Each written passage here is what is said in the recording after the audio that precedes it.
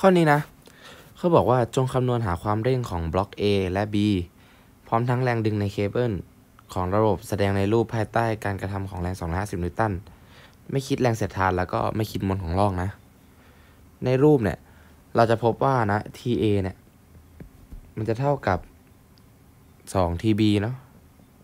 โอ้ขอโทษ ไม่ใช่ไม่ใช่ TB TB TB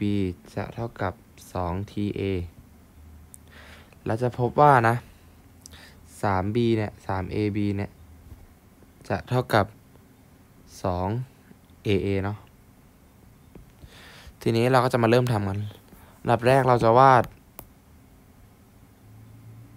ตัว FBD ก่อนเนาะ จะได้เป็นอย่างนี้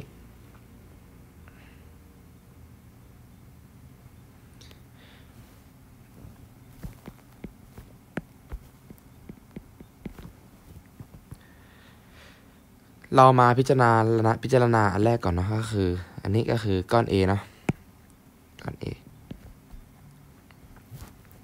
อันดับแรกเราจะให้ซิกมา fx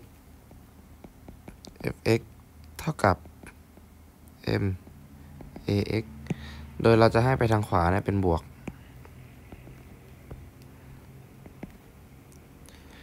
จะได้ว่า ta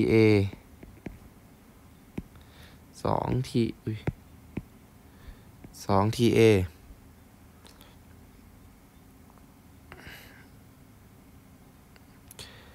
เท่ากับ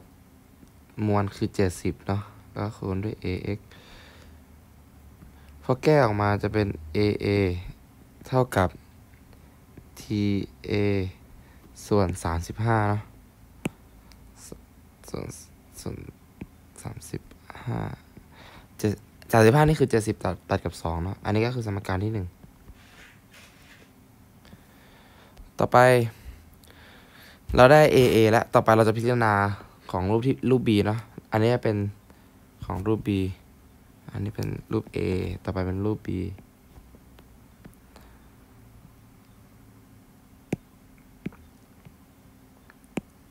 รูป B นี่ก็เหมือนกันซิกมา F ซิกมา fx เท่ากับ max เราให้ด้านขวาเป็นบวก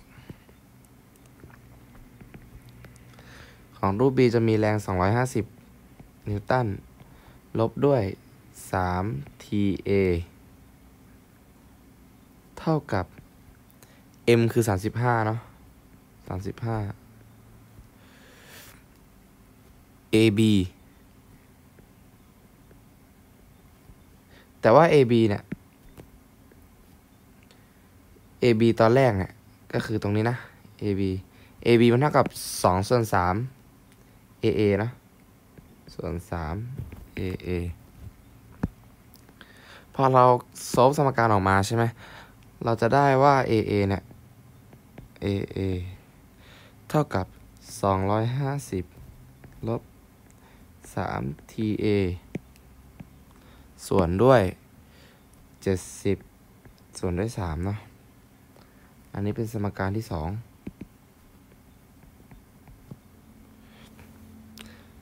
เราจับสมการที่ 1 กับสมการที่ 2 มาเท่ากันนะ สมการที่ 1 เท่ากับสมการที่ 2 จะเป็น TA ส่วนด้วย 35 เท่ากับ 250 ลบสาม ta ส่วนด้วยเจ็ดสิบส่วนสามพอเราแก้สมการออกมาแล้วเราจะได้ ta เนี่ย เท่ากับหกสิบแปดจุดหนึ่งแปดกิโลกรัม เราเอา ta ที่เราได้เนี่ย ไปแทนในสมการที่หนึ่งหรือสมการที่สองก็ได้เนาะ ta ตัวเนี้ย แต่ว่าเราจะไปแทนในสมการที่หนึ่งนะ แทน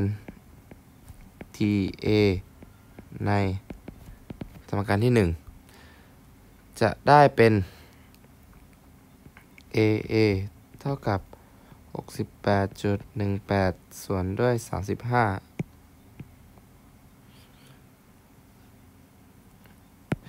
พอแก้ออกมานะ